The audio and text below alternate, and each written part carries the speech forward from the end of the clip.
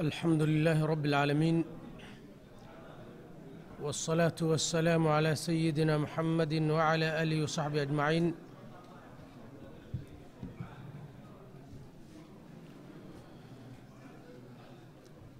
إن إن شاء الله تعالى waxaan gelaynaa casharkii saddexaad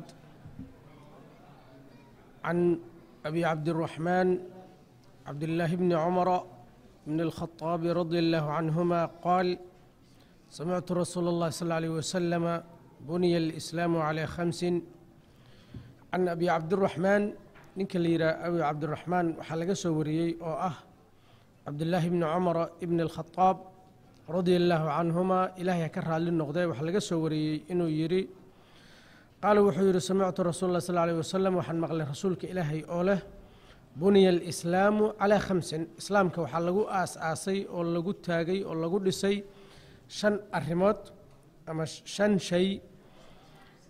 Midka koowaad waa shahaadati an laa ilaaha ila allah. Qofku in uu qiro oo uu ku dhawaaqo oo uu yaqiiniyo ilaahay maahana cid kale oo mudan in la caabudo inaysan jirin. Iyo wa anna muxamadan rasuulullah nebi moxamedna uu yahay rasuulkii ilaahay uu soo dirsaday wa iqaami salaati salaada in la ogo oo la tukado wa itaa'i zakaati zakada in la dhiibo waxaji lbeyti kacbada in la aado oo la soo xajiyo wa sawmi ramadaan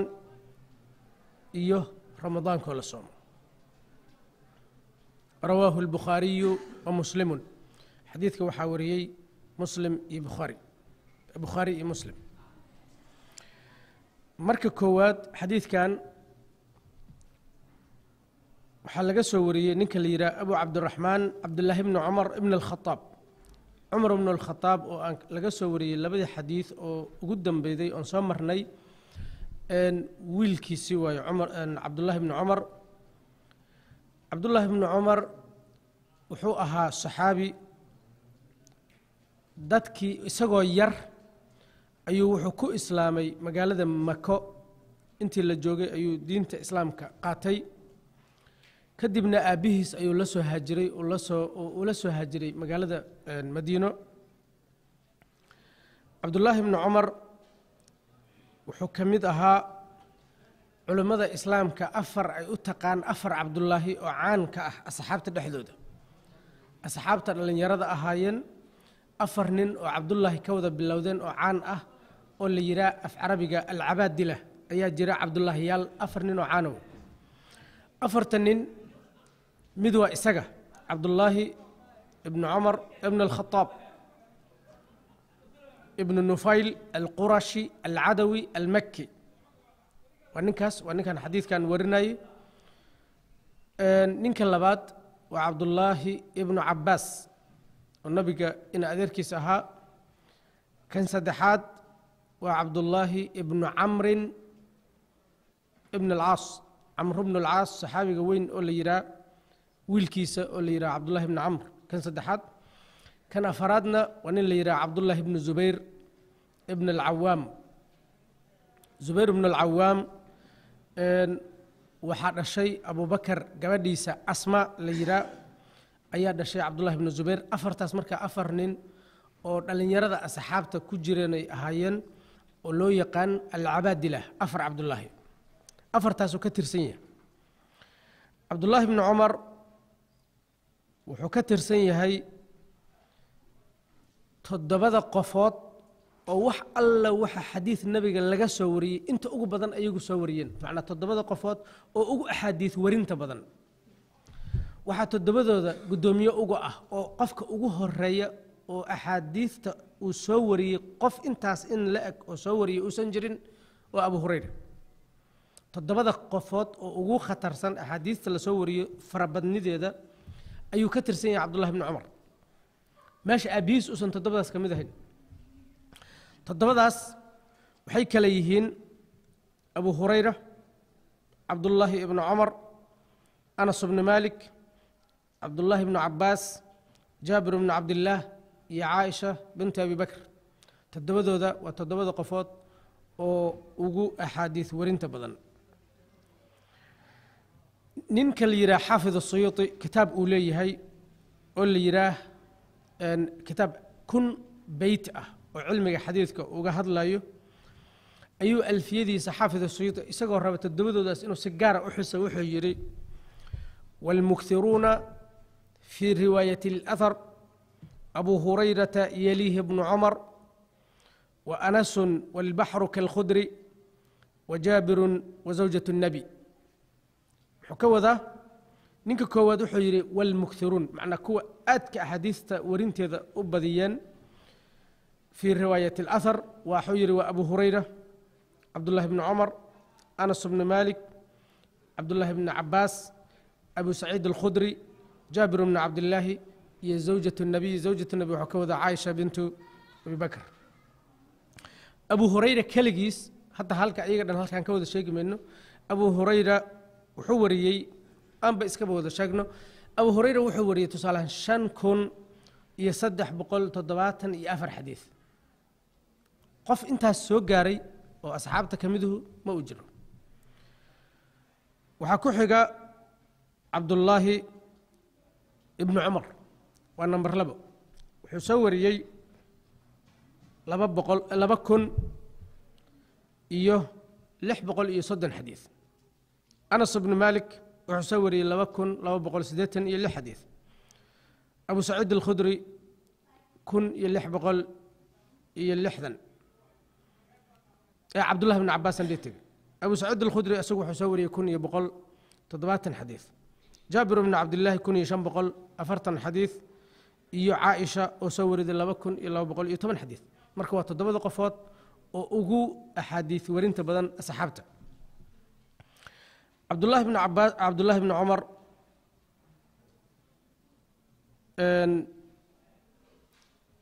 wuxuu ka mid ahaa waxaa la dhihi karaa dadka nebiga raacistiisa ugu awoodda badnaa ama ugu khatarsanaa ayuu ka mid ahaa oo wuxuu ahaa nin xagga itibaacu sunna aad iyo aad dadka loogu yaqaan ka mida can abi cabdiraxmaan cabdullaahi bni cumar ibn alkhaaabi radi allahu canhuma canhuma u isticmaala sheekhu canhuma wuxuu ka wadaa haddii saxaabiga xadiidka warinaya aabbihiisna uu saxaabi kala ahaa waxaa la isticmaalaa labadoodaba allah ka raalli noqdo laakiin aabbihiis sida hadda dhacdo kale cabdullaahi ibnu cumar. Macnaa cumar ibn alkhaaabna waa amiir lmuminiinkii aad tiqinan isaguna waa saxaabi. Marka saas awgeeda waxaa la isticmaalaa radia allaahu canhuma labadooda. Laakiin saxaabiga aabbihiis hadduusan muslin ahayn waxaa la isticmaalaa keliya radia allaahu canhu tusaale ahaan cumar ibnu alkhaaab markaan ka soo waxaa la yidhi radia allaahu canhu macnaa isaga keliya ilahay raadiha ka noqdo ninkan la yidhaha cabdullaahi bni cumar xadiidkan uu soo wariyey waa xadiid gundhig iyo aas-aas u ah diinta islaamka in qofku uu ogaado diinta islaamka waxyaabaha u ah rukumada waaweyn ama meelaha ay ku taagan tahay xadiid laga barto oo xadiidkaas waxaa ku aruursan saldhigyada waaweyn ama aas-aaska diinta dhan ay ku qotonto ayuu xadiidkanu soo arooriyey shantan shay oo xadiidku uu sheegay oo ah shahaadat an laa ilaha illa allah iyo afarta ka dambeyda diinta islaamka saan hadda sheegnay aasaaskeedii iyo meeshii ku taagneed waxyaabaha iyaga ka soo haraahu waa dhammaystir. Islaamka inta iyaga ka soo hartaahu waa dhammaystir. Siday dhammaystir u tahay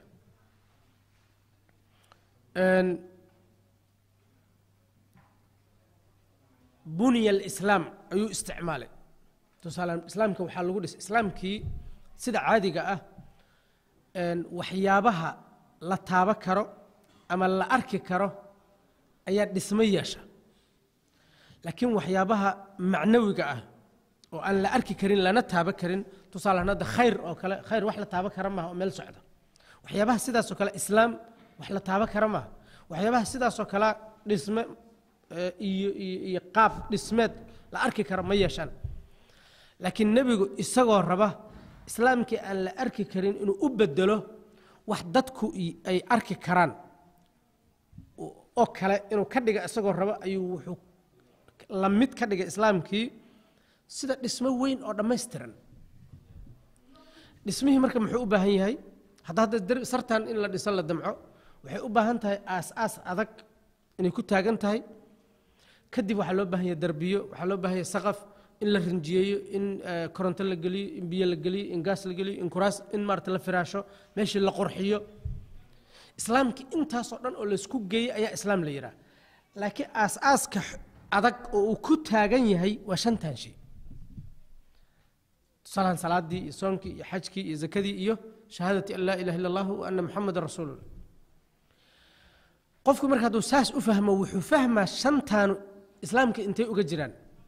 Hadda hadda salaada tukato soonka aada soonto xajkii zakadii wixii kasta aad samaydo intaad islaamka samayda waxaad samayda islaamka tusaalahaan haddii afar shub oo xoog leh oo tiir ay derbi ay intaan haydo afar shub oo waaweyn ama shan shub ay haydo oo xoog leh haddaad shantaas hadda taagato inta boos gadato weyn shan maaragtay shub xoog leh oo waaweyn oo tiir haddaad ka muddo meel qoys lagu furi karo oo aad berri sariirahaaga iyo ilmihii aad qoyskii soo raran karta miya? Waa maya. Meel bannaan oo aad afar afar shan tiir aad ka mudday oo xoog leh shantan tiir guriga ayay hadhowta kuu celin lahayeen laakiin ayagu guri ma aha marka bunya alislaamu calaa khamsinta waxay tahay waa dhardhaartii uu ku fadhiyey ama dhagaxdii ama meelihii aasaaska ahaa oo islaamku ku taagnaayo laakiin islaamkii o dhan maha islaamkii wuxuu la mid yahay sida dhismahan oo kale. Salaadii iyo soonkii iyo xajkii iyo zakadii haddaad samaydo waxa aad samaydo intaasi la egyihin maxaa dhiman? Waxaa dhiman malaayiin shay? Oo islaamkii derbiyadiyaa dhiman a- albaabyadiyaa dhiman darashadiyaa dhiman koronto iyo biyo in meeshii la geliyo in meeshii la shamiiteeyo in kuraas in maaragtay firaash fiican la dhigo inaad kuraas keensato inaad sariiro keensato. Hawl badanaa dhiman. Kuwaas maxaa ah?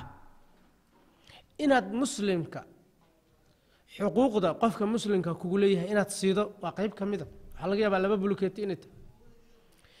In aad kaba soo qaad aad- aad waalidkii aad baari aad baari u noqoto oo birul waalideynka laga helo inaad ilmahaagii si fiican ula dhaqanto ee, inaad sunnooyin badan samaydo waajibaadkii kaloo haray.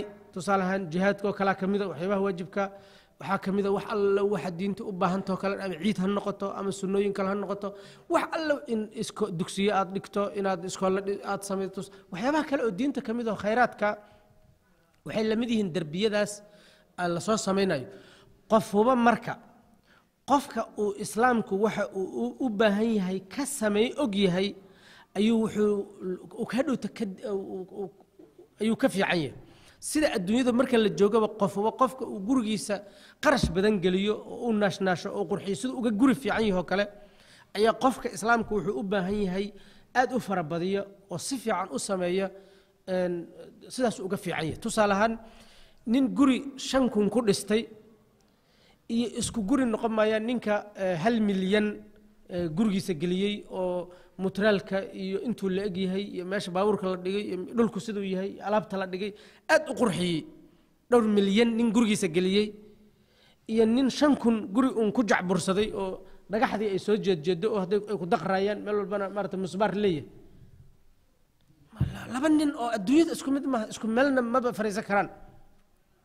Islaamku waa saas oo kale ninna islaamkiisu waa islaam dhagaxdii soo jeedjeeday ku daqraydo oo wuxuu sameeyaa ay tahay salaad iska tuur ah. Awalba iqaami salaatidii salaada oo hadhowtaan sheegi doonaa sidii la rabay loo tukaday salaad uun uun layska si uun maaragtay isdhaafsiis aheed son asaga laftirkiisu ilaahu yaa naga dhammeeye ahaa wax aan badnaynba islaamkiiso dhan u yahay. Marka wuxuu la mid yahay qof degan guriganoo kale oo afar tiir laga muday saqafka kore uu maqan yahay oo barafku iska soo galo iyo leyrta derbiyadu aysan si fiican u habaysnayn oo jiirka iyo mukulaasha iyo masasku soo galaan nin iska dhex degan laakiin isagu isku haysta qasri weyn oo madaxtooyadii oo kale nin degan nin isagu isku haysto kale. Marka bunya alislaamu calaa khamsinta waa saas kuwaanu waa uun aas-aaskii xoojina islaamka u lahay oo kaliya. Buniya alislaamu calaa khamsin uu yidhi marka waxaan ka waday shantaas waa shantii uun rukun ama shantii tiir ama shantii aas-aas oo xoogga lahaa oo islaamku lagu dul dhisi lahay waa iyagu laakiin iyagu islaamkii oo dhan maahan wixii marka intaas ka soo haraa waa waxyaabihii iyaga dhammaystirayay oo qurxinaya oo guri ka soo saaraya meeshu inay guri fiican tahay waxyaabihii ka soo saaraya oo dhan waa maqan yihiin.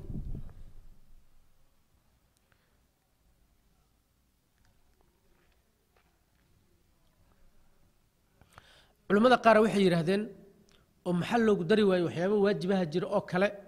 Maxaa loo raacsii waaye waxyaabaha waajibka ah intaan kaliya maaha waajibaad fara badan oo islaamku leeyaha jira maxaa iyagana loogu dari waaye oo asaaska loogu dari waaye waxaa suurtagal maaha waxaa ka mid ah yidhahdeen sida jihaadkao kale. Jihaadkao kale xadiid hadhow ita imaan doona insha allahu tacaala. Waxaa lagu tilmaamay inuu yahay kuriska neefka geelaha oo kale kuriska kore oo kale inuu jihaadku meel sare uga jiro islaamka. Oo kale xadiid sheegaya soo socda. Oo kaasoo kale maxaa loogu dari waayey lix looga dhigi waaya qaara yidhi. Kaas iyo waxyaabaha lamidkaah waajibaadka laguma dari karin sababtoo ah sababaha aan loogu dari karin waxaa ka mid a. Shantan shay waa wax qof kasta oo caaqil ah oo qaangaar ah waajib ku ah. Sinabana aan qofka uga dhacayn inta uu sidaas yahay. Laakiin jihaadkoo kale waa waxyaabo qofkuna ilaa uu ka dhinto waa kuwa soconaya. Laakiin jihaadkoo kale waa wax marxalado gaara ku xiran. Tusaale ahaan aakhiro marka la tago bahalkii aakhiru zamaanka marka la gaaro oo nebiyullaahi ciisa uu soo dego waxaa dhammaan doona diinta islaamka diinaan ahayn. Ayaa dhammaane dadku hal diinay wada yeelo doonaan hal wadaa lagu toosi doonaa. Markaas jihaadba looma baahno hadduu jihaadku marka arkaanta ka mid ahaa lahaa iyo waxyaabaha lama huraanka qayb diinta ka mid aha maqnaa lahayd laakiin markaas maba loo baahna sababto yaa lagu jihaada. Dadkii o dhan waxay noqdeen dad waddada saxdaa wada haysta. Marka jihaadku waa shay la gaarayo waqti aan isagu baahi loo qabinba. Laakiin shantaanu waa shan aan dhammaanayn ilaa adduunku ka dhammaado. Waa mid midda labaad shantan waa fardulcayn macnaa shaksi shaksi ayaa dadka looga rabaa. Laakiin qofkii haddii qola samaydo wax dadka ka dhacaya maahan tusaalahan waajibaadka laba nooca mid waa wax shaksi shaksi laysaga baahanya sida salaadoo kale. Salaadda haddii dadkao dhan tukadaan adigoona aada tukan ma dhihi kartid hadda intii badneedba hadday tukatay? Taydana halkaas lagu dhex daro ma dhihi kartid. Waa wax shaksi kaligaa lagaa rabo. Laakiin waajibaadka qaarkood ujeeddadu maahayn in qof qof loo sameeyo ee waxay ahayd wixii la rabay un uun la sameeyo. Haddii saddex qofood samaydo waa ku filanta. Tusaale ahaan qof meydaha dhintay in la dhaqo oo la karfaniyo oo la soo duugo waa waajib. Dadka tusaale ahaan meeshaas jooga laga rabo laakiin qof qof loogama rabo. Haddii qof laba qofoodoo ka midu hadday sameeyaan inta kale dembiga waa ka dhaca. Jihaadka dantii laga lahaa haddii kooxu ay samaydo inta kale lagama rabo.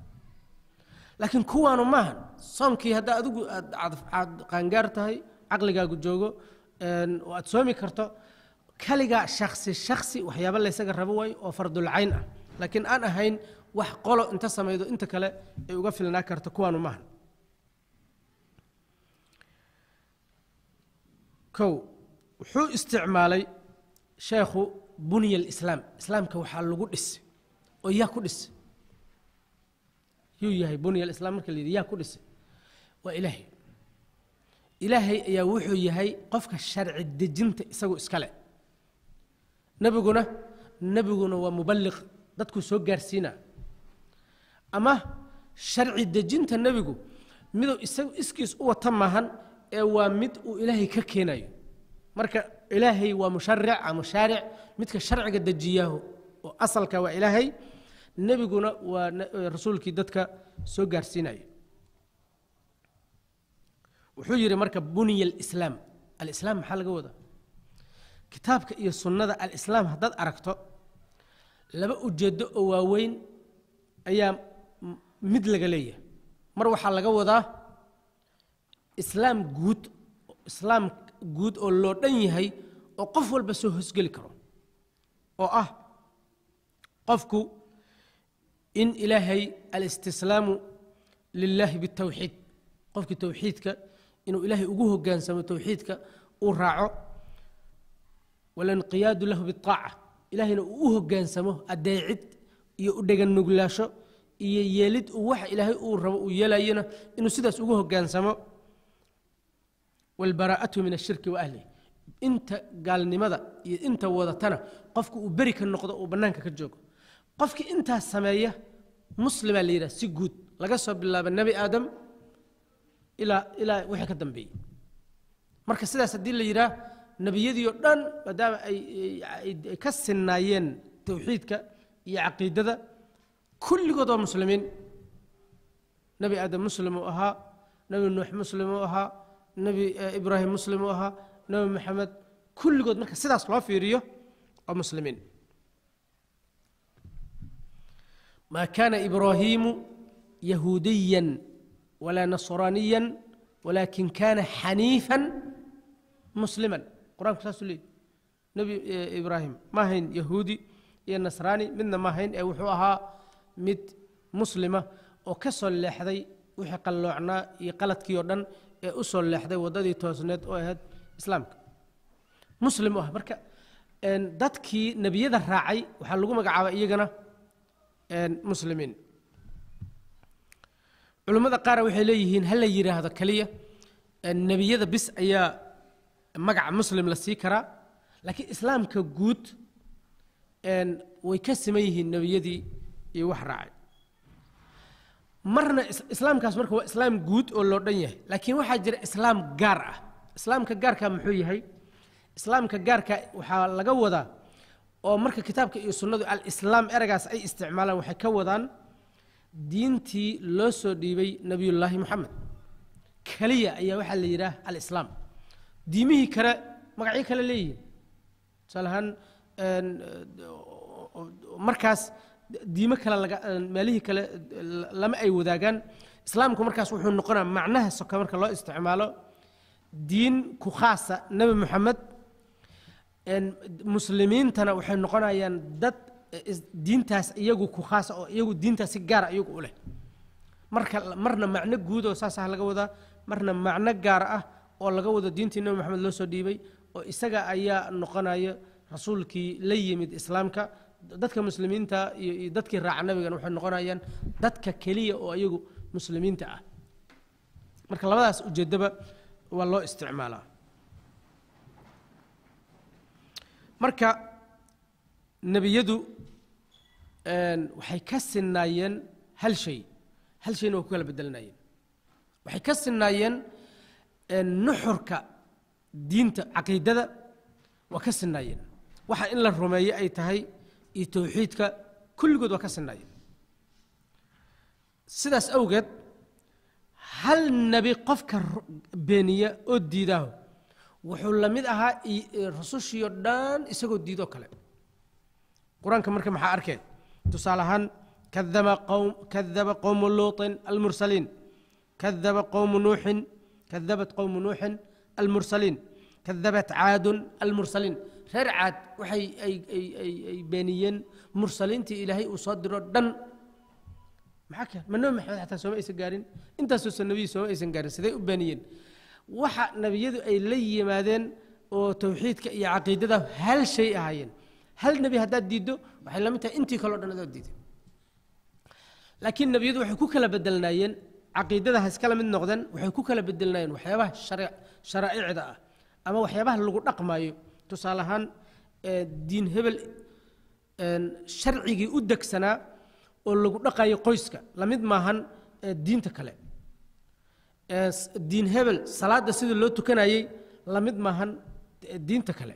Tusaale ahaan muslimiintu hadda waa soomey ummadihii hore soon ayaa lagu waajibiyey. Waxay ka midaysan yihiin qolo walba inay soon lahayd laakiin soomkaasu meeqa maalmood way goormuu bilowda goormuu dhammaadaa maxaa in laga ilaaliye ay tahay maxaa in la sameeye ay tahay taas waa ku kala bedelan yihiin salaadaha waa la tukan jiray ummadihii hore. Ummaddaanuna salaadaha waa tukataa laakiin way ku kala bedelan yihiin. Meeqa salaadooda iyaga laga rabay ummaddan meeqa salaadooda laga rabaa. Salaadahooda ma meel kastaa lagu tukan karay mise meel gaaraha lagu tukan jiray. Tan ummadihii hore tusaalan meel mawlaca iyo masaajid iyo meeshii loogu talagalay meelaan ahayn tusaalan salaada lama aadi karin ummaddanna waxaa laga dhigay meel alla meeshay kugu qabataad salligaaga dhiganay marka salaad magaca salaadeed way wadaagaan laakiin tafaasiisha iyo waxyaabaha u yaal shaqa iskuma leh. Qoyska boqol naagood konton naagood siddeetan naagood ayaa la iska guursan jiray. Laakiin diintan eh, nabi maxamed loo soo dhiibay afar keliyo macnaha waxay ku kala bedelan yihiin marka ni- qawaaniinta iyo shuruucda iyo nidaamka iyo shareecooyinka shareecada nebi walbaa wato way ka bedelan tahay midkii hore. Laakiin meesha ah caqiidada hal ka ahayn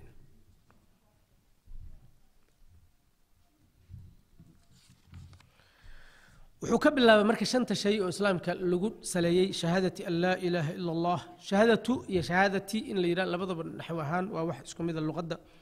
Shahaadati an laa ilaha ila allah. Shahaadada shalaa idin sheegay waxaa laga wadaa ashhadu markaad leedahay ama shahida ama shahaada shahida yashhadu shahaadatan wa shuhuudan. Shahaadada waxaa laga wadaa shay laba wajiilo ah. Hal shayoo qarsoon iyo hal shayoo loo jeedo. Mid waxay tahay qofku in uu aqoon u leeyahay oo ilaahay iyo wixii loo baahnaa inuu qalbiga ka ogaado oo uu qalbiga ka yaqiinsado afkana uu uga dhawaaqo. Weliba uu dadka kala ogeysiiyo haddaysan jirin wax u diidayo marka waa afkii oo looga dhawaaqo iyo hoos oo qofku uu ka ictiqaadiyo uu ka yaqiiniyo. Labadaas dhinacay leedahay shahida. Marka qofku intaas uu ogaado oo uu ku dhawaaqayo muxuu og yahay oo uu ku dhawaaqa? An laa ilaaha ila allah an laa ilaaha iyo ila allah waa laba eray. Ereyga hore waa diidmo lagu xaaqayo wax alla waxa ilaah adduunka ka jiray inaysan cibaado mudnayn. Ila allaahuna ilaahay keliyaha loogu ogolaana inuu isagu yahay allaha mutaystay oo xaqa u leh in isaga la caabudo. Ashhadu an laa ilaaha ilaah ma jiro laguma fasiri karo. Ilaah ma jiro haddaad tiraa eh, waxaa ku beenina oo kaa hor imaana eh, waaqica macnaa dadku sanamyo iyo ilaahyo meelo u yaalyaali fara badanay haystaan. Ilaah ma jiro haddaad tiraa marka adoo yidhi oo kale qoraxda ma jirto. Ma inkari kartid mana diidi kartid taas. Laakiin waxa aad diidi kartaa waxay tahay waa run dadku ilaahya waa leeyihiin ay caabudaan oo ay ka cabsadaan oo ay jecel yihiin oo iyaga ay daraaddood u sameeyaan waxa ay cibaadahay samaynayaan way leeyihiin. Laakiin maahan ilaahyo mutaystay cibaadada kuwa xaq u leh maahan. Axadka keli ah oo cibaadada xaqa u lahu waa ilaahay. Marka laa ilaaha inta hore waa diidmo lagu xaqayo inuusan jirin ilaah xaq lagu caabudo oon inuusan jirin oo dhana lagu diida inta dambena waxaa lagu sugaa oo lagu caddaynaa inuu yahay ilaahay midka keli ah oo isagu cibaadada mutaystay ashhadu anna muxamedan rasuulullah sidoo kale afka wax aqlibiga ka ictiqaadinay afkana aad ka leedahay nabi moxamed inuu yahay rasuulkii uu ilaahay soo dirsaday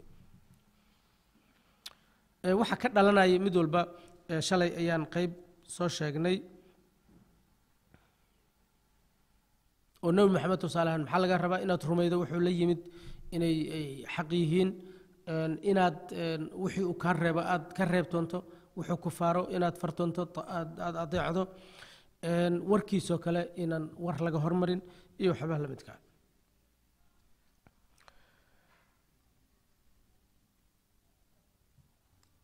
wuxuu isticmaalay xadiidku waiqaami salaati waitaai zakaat. Waiqaami salaati maxaa laga wadaa?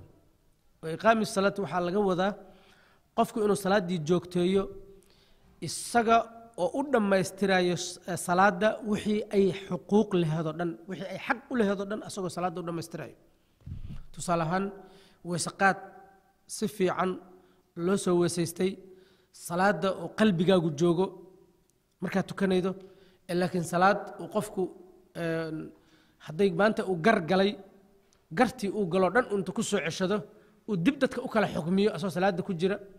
Hadduu ganacsado ahaa ee, maantoo dhan wixii ka khasaaray iyo wixii faa'iiday iyo wixii dukaanka soo maray salaad uu ka warqabo oo uu meesha dhexdeeda ku xisaabsado lama rabo. Salaad qalbigu uu xaadir yahay oo waxa uu tukanayo uu ka warqabo. Waa inay noqoto salaadu. Hadday iska noqoto salaad uun qofku asoo iska hamowsanayo iska uun tukado oon waxan iska akhriyo. Salaad meyd ah.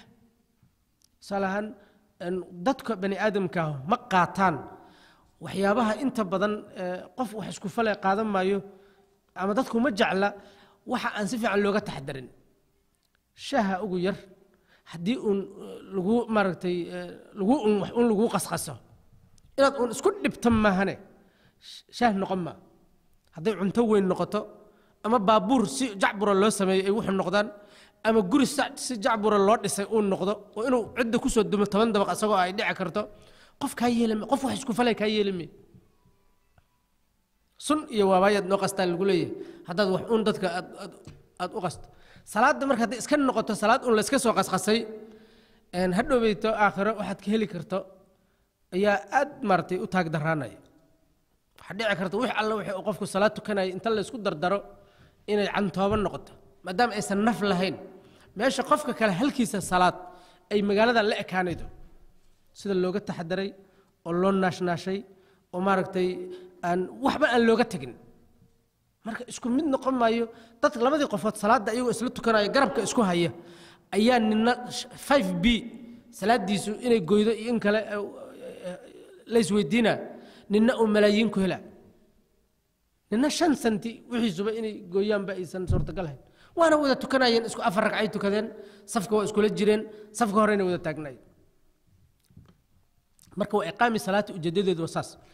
Erayada marka qur'aanku xadiidku isticmaalay wa iqaami salaati wa zakaati wa xaji sidaas erayada uu isticmaalay erayadii qur'aanka ku jiray way. Qur'aankaas sidaas u isticmaalay.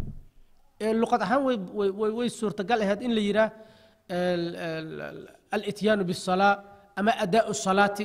In la yidhaah waa luqad ahaan way bannaaneed zakadoo kale icطaau zakaati waa la dhihi kare laakiin wa iitaau zakaati erayadii qur'aanku siday qur'aanka ugu jireen ayaa nebigu u isticmaalay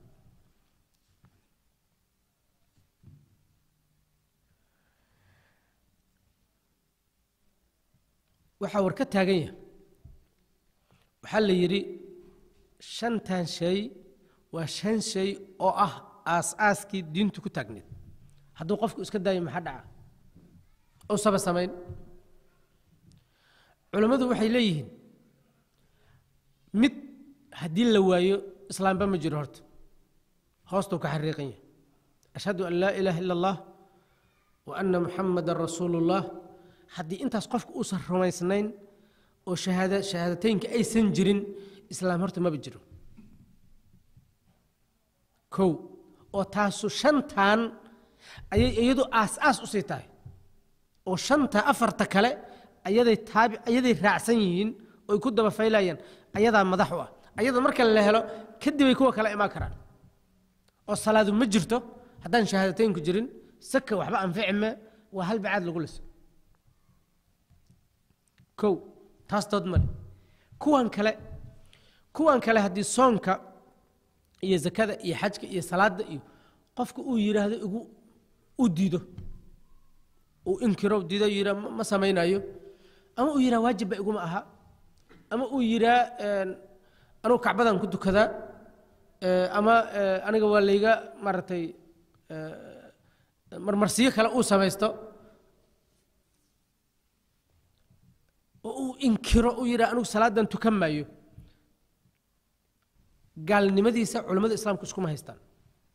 Gaal gaalada ka midow sida loola dhaqmayo gaal cad caadiga ah ayaa isna loola dhaqma gaal gaalada ka midow qofku hadduu diido oo yidhaah oo isana jirin wax sabab ah oo sidaas ku kallifay. Tusaale ahaan ma ahan qof soo islaamoo kale. Qof soo islaamay hadeer oo cusub oo aan waxba la socon u haysta salaadda inay tahay ninkii markaas firaaqa u haya. Nin soo islaamay ah saasoo kale hadduusan ahayn qof jaahilnimo marka ay haydoo kale. Hadduusan ahayn tusaalaan qof muslimiinta ku dhex noolaa oo fahamsan hadduu inkiro inta arrimahan gaaluu noqonaa laakiin haddii uu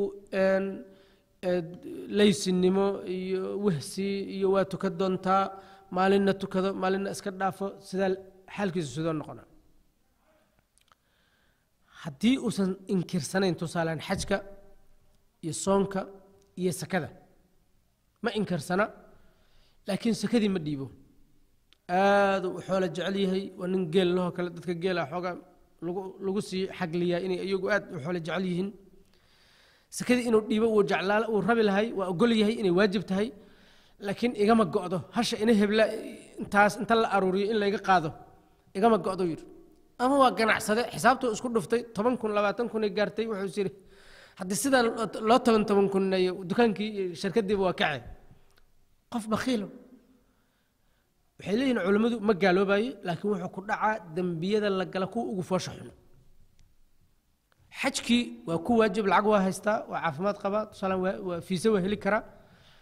Laakiin sanadba sanadu ku amaahda sanadka dambe baan ka dhigi doonaa haddana sanadka dambe baan ka dhigi doonaa wuxuu ku dhacaa dembi.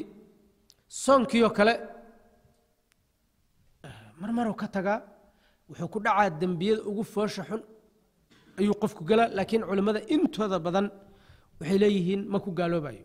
Maadaama uu yahay qof ogol waxaanu inay diintii isaga laga rabay iyo waajibaadkii isaga saarnaa inay yihiin maadaama uu ogol qayb culimmada ka mida iyagu waxayba leeyihiin hadduuba uu sidaa sameeyo daaqadda waa ka baxay. Muslimba maaha. Laakiin culimmada siday u badan yihiin ku gaaloobi maa waa saddexda ah xajka iyo soonka iyo iyo iyo zakada. Iyada salaada arrinteedu waa ka waa ka xoog badan tahay. Iyadu waa ka dhib badan tahay. Sabab?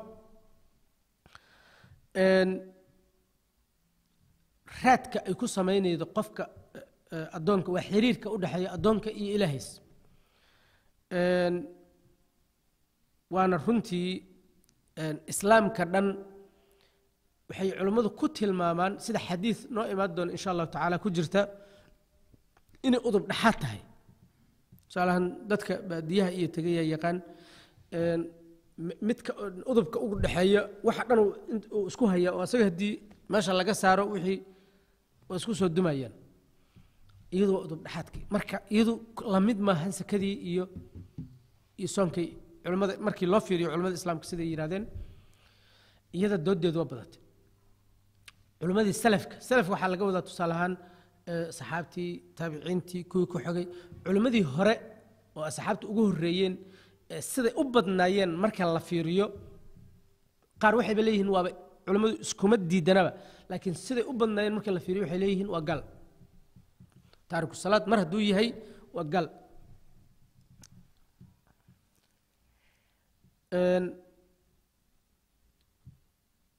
culimmada qaar waxay yidhaahdeen culimmada dambe oo afarta madhab xanafiga maalikiga shaaficiga iyo xanbaliga dadka raacsan afarta madhab oo islaamka muslimiinta intooda ugu badan ah intoodii dambena siday u badan yihiin waxay qabaan ma gaaloobayo laakiin waa qof khatar xun ku jira. Macnaa waa qof hadda laisleeyahoo kale tolo ma dhiban doonaa mase waa noolaa doonaaoo kale. Qof inta shil galay aad maaragtay dhaawac weyn gaaray oo laysku hayo inuu dhintana waa suurtagal inuu ka kacana waa suurtagal. Macnaa meel halisa qof taagan wa waayo noqo ay leeyihiin gaalnimadiisuna maahan gaalnimada xerada islaamka looga baxayo laakiin wuxuu ku dhacaa gaalnimada yar oo ah qofkii inuu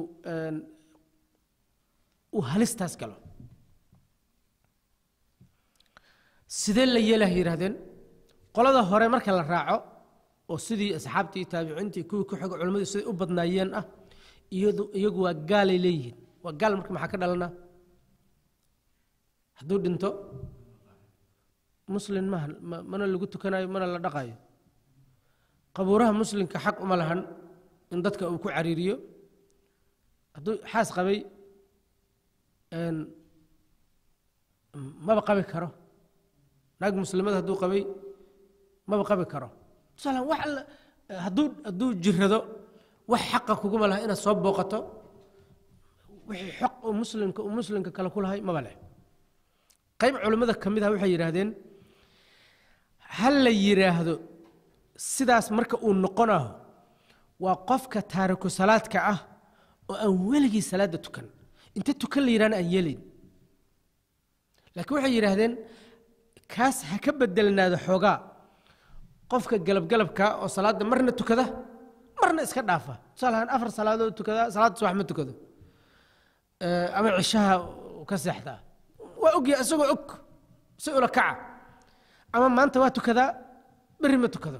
Bishaan waa tukadaa bisha kale ma tukado. Qofka galabgalabka kaas waxay yidhahdeen kaas ha la yidhaahdo waa muslim islaamnimadiisu ay saxriir ay ku jirto laakiin weli kaas gaal maaha waxoogaa ha laga soko mariyo.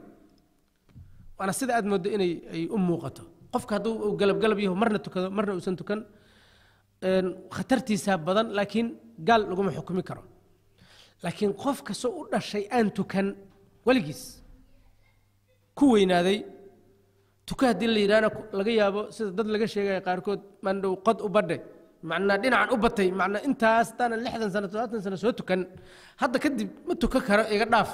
Hadduu joogo wax jaahilnimo iyo wax hayana aysan jirin. Culimmadu waxay leeyihiin qofka sidaasaa khatartiisa badan kaas waa meeshay gaalnimada u badinayaan.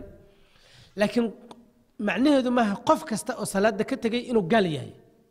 Waxaa la qofkii salaada ka tegey waa gaal laakiin shaksi shaksi in loogu xukumo oo la yidhaha ninka hebel la yidhaha xaasku waa ka furantay ninka hebel la yidhaha qabuuraha muslimka laguma duugi karo arrin kale u baahantay yidhahdeen culimmadu.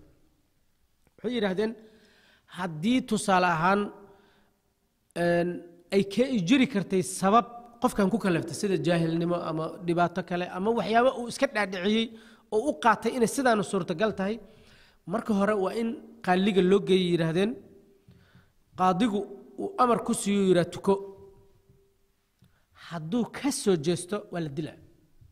Tukan maayo hadduu soo jeesto hal salaad hadduu ka tago markaas duhurkiyaa la jooga duhurkii hadduu baxo ama casraa la joogo tusaale casarkii dhammaado hal salaad cudur cudurdaar la'aan hadduu uu soo indha adaygo xabsiga uu ku jiro intaas la hayo oo toobadkeen salaada tuko inta la yidhaha uu cag ku taago kaas waa gaal. In la isku khilaafana maahanba kaas gaal yahay laakiin culimmada qayb ka mid ah waxay yidhahdeen marka la dilaayo qaar waxay yidhahdeen yuqtalu riddatan. Macnaa waa murtad qof diinta islaamka ka baxay waa gaal gaalada ka mid ahu noqaa marka la dilo. Qaarna waxay yidhahdeen yuqtalu xaddan. Yuqtalu xaddan macnaheedu maxay tahay? Sida qof khamri qof zinaystay oo kale. Haddii la dilo islaamnimadii kama uusan bixin laakiin wuxuu mutaystay dembi lagu dilo. Laakiin weli muslim waaye. Qaar saasay leeyihiin marka in la dilaayo doodu kama taagna hadduu tukan waayo. Kaliya laakiin waxay markaas isku sii hayaan dilkaasu ma wuxuu noqonaa ma wuxuu ku noqonaa marka la dilo qof murtada mase wuxuu noqonaa qof mus qof muslina oo oo dembiga u galay laga jarayo sida raajixa waa gaal. Mar haddii intaa halkaas lagu xiray oo qol xabsiga la geliyey la yidhi haddii casrika aadan maanta tukan waa lagu dilaa oo soo jeestay oo tuka diiday. Sida raajixa waa waa waa qalbigiisa inaan islaamnimo ku jirnay caddaynay laakiin qof weli wax goror ku hara hadduu yahay waa tuka leh. Marka waxaan ka rabay ujeeddada inaan caddeeyo. Salaadda sida loogu murmay iyo sida warku u galay way ka bedelan tahay xajkii iyo soonkii iyo iyo kuwii kale oo iyada khatarteeda badan.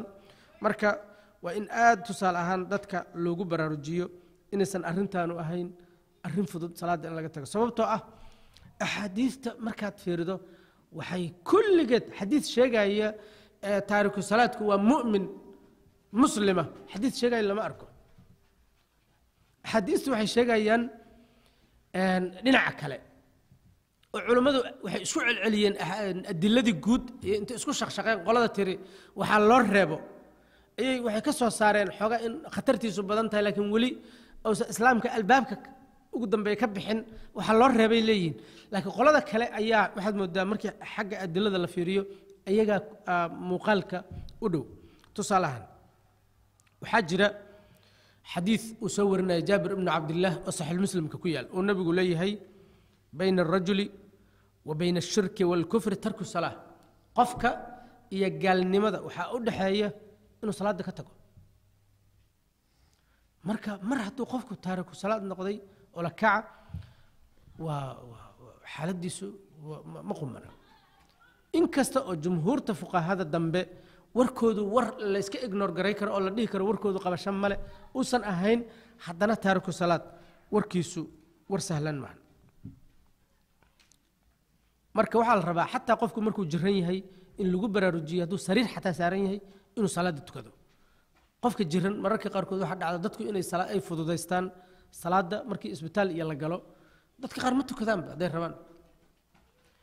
Waanaba markii la rabo inuu ka sii daraba awal intuu tukan jira uu sii laban maadaama laga laga yaabo markaa inuu dhinto oo inkastoo dhimashadu ay mar walba saacad la dhimanayo qofna ogeyn. Laakiin sida bani aadamku dareemi karaan maadaama qofku markaa khatarba ku sii jiro inuu ka sii daray ahayd cibaadada ee inuu salaadii ugu darneed ka sii tago maaha. Marka waxaa la rabaa qofka in loo weyse qaado culimmada la weydiiyo xataa hadduu jajaban yahay ama wax gaareen sida loogu weyse qaadi lahay maxaa suurtagal loo booreeyo haddii aysan weyse qaad suurtagalayn? Salaada siduu yahay uu tukado. Isagoo sariirtiisa saaran ayuu tukan karaa. Qasab maa inuu fariisto istaago hadduusan kici karin hadba xaaladda qofku ku sugan yahay ayuu salaadda ku tukana marka in dadka lagu baraarujiyey inaysan salaadda ka tegin. Afarta shay shanta shay oo xadiidka ku jirta oo arka oo u ah saldhigga islaamka oo dhan iyo aasaaska waxay ka kooban yihiin shahaadadii salaaddii iyo soomkii. Shahaadadu waa wax afka iyo qalbiga ka dhexayda. Salaada iyo soomku oo afkaa laga sameynaya tusaale inta la arkaayo shahaadateynka.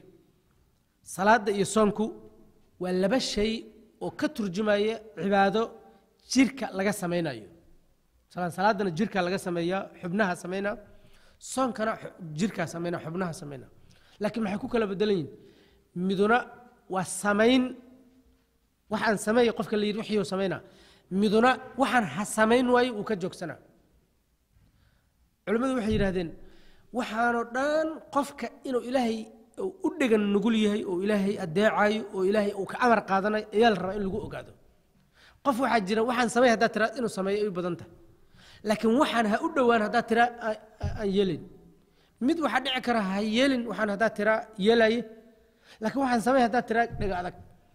Marka in marxalad walba la marsiiyo labadooda marka salaadda iyo soonka waa waxaan ha samayn iyo samey oo jirku iyo xubnuhu ay samaynayaan. Laakiin wax dhaqaalo ama baahna. Zakada iyadu waa ka bedelantaha kuwan cibaado oo jirka laga samaynayo maaha ee waa cibaado la xiriirta xoolaha ilaahay qofka siiyey. Oo qofka lagu imtixaanayo inuu dhiibo iyo in kale. Waa cibaado marka aan jirkaaga u baahnayn inaad aad wax ka samaydo laakiin u baahan in maalka laga jaro. Xajku qofkii aan magaalada makoo kale tusaalahaan deganayn waa cibaado isku dar ah oo maal iyo jirkii oo daray oo tusaalahan waad lugayne waad aj acmaashii xajkao dhan waad samayne. Dhinacna zaadkii iyo wixii loo baahnaa iyo inaad soo qaadato waay. Taasna waxay leeyihiin culammadu waa isku dar. Marka waxaa la rabaa qofka dhinac walbaba in loo tijaabiyo oo loo imtixaano bal inuu yahay qof maqli kara qofaa xoolaha ku xun laakiin salaada ku fiican. Sida bani a u aragteenoo kale qofaa dabeicaddiisu aad u fiicanta dadka la dhaqankiisa laakiin haddii shilin la qaado dhuumanayo ama aad u gacan adag laakiin sida kala fiican. Midaa aad laakiin afxumada ka socota aad u dhimanaydo. Qofba meeluu ku xun yahay. Marka waxaa la rabaa qofkan midkii waxaan ha samayn ku xumaa in la tijaabiyo. Samay midkii ku xumaa in la tijaabiyo. Kii xoolaha ku xumaa in meel walba in imtixaanku uu kala gaaro marka intaas ayay shanta shayna ay ka kooban yihiin xadiidkan siduu u samaysan yahay waxay isugu xigaan shahaadateynka wa iqaami الsalaati wa iitaaءi الzakaati saas miya wa sawmi ramadaan wa xaji اlbeyt kutubta markaad fiirido qaar waxaa ku yaal wa xaji اlbeyt wa sawmi ramadaan qaarna waxaa ku yaal wa sawmi ramadaan wa xaji اlbeyt maxaa keenay? Xadiidkan bukhaariga markuu ku yaal imaam albukhaari kitaabkiisa saxiixulbukhaariga markuu qorayey wuxuu xadiidku wuxuu leeyahay laba dariiq ama laba meelood oo lagu dadka wariyey ay kale ay ku kala bedelan yihiin imaam albukhaari kitaabkiisa wuxuu ku wariyey qaabka xajku horeeyo oo ah wa xaji ilbeyti wa sawmi ramadaan. Hadhoobeyta kitaabkiisii dhanba oo bukhaariga ah sidaasuu ku saleeyey oo kitaabu salaat iyo kitaabu alxaji waxaa soo horreeya kitaab alxaj maadaama markii hore xadiidkan uu warinayey uu soo kala hormariyey xajka iyo soonka oo soonka u dambeeyey markuu rabay inuu hadhowta xajka iyo soonka ka hadlo waxaa u horreeya xajka waxaana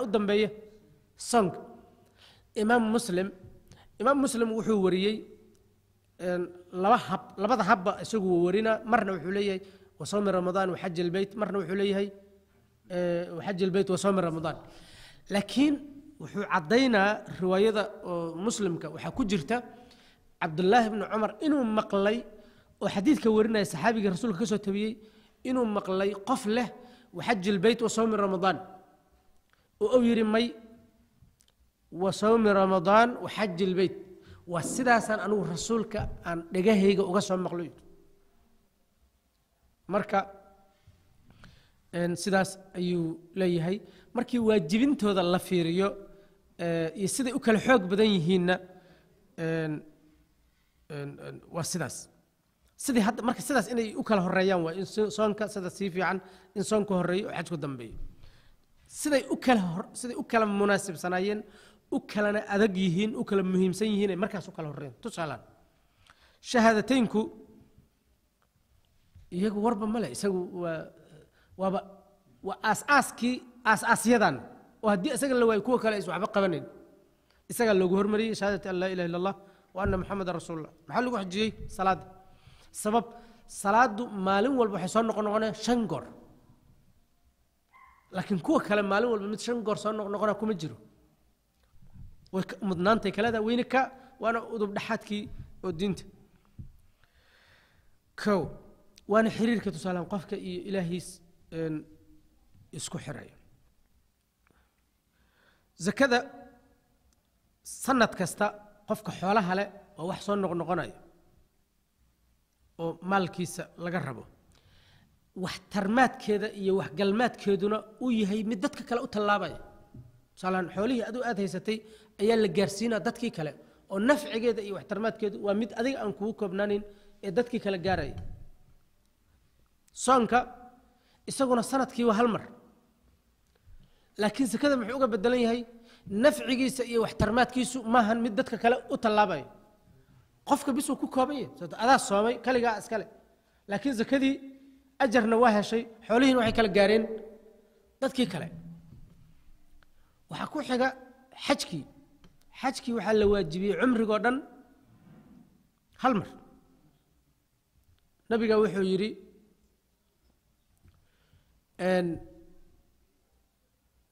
xajku waa waajib. Nabiga cabdullaahi bni cumar cabdullahi bni cabbaas ayaa soo warinayey wuxuu yidhi rasuulka ayaa wuxuu waajibiyey xajka intaas markuu yidhi aqrac ibnu xaabis saxaabi la yidhaaha gacanta taagay wuxuu yidhi yaa rasuulallah afi kulla caamin yaa rasuulallah. Sanad walba miyaan nalka rabaa? Mayuu yidhi nebigu. Waa hal mar. Haddaan dhihi lahay uu yidhi sanad walba sidaasay noqon lehed hadhowtana dadku ma awoodi karaan. Marka hal mar waa cumriga. Kuwii kale fiiri kuwii kale waxay ahaayeen sakada iyo soonku sanad walba. Laakiin wuxuu ku kala bedelaan midna nafcigeedu wuxuu ahaa mid dadka kale u tallaabaya midna nafcigiisu wuxuu ahaa qofkii sameeyey mid gaar ku ah. Salaadu iyadu maalin walbay ahayd. Shahaadateynka xajka waxaa loogu dabamarsiiyey isagoo cumrigiiba intuu qofku nool yahay waa halkaas mar. Intaas ayaan casharka ku soo koobaynaa. Sala allahu wasalam calaa muxamedi wcala alihi wasaxbi ajmaciin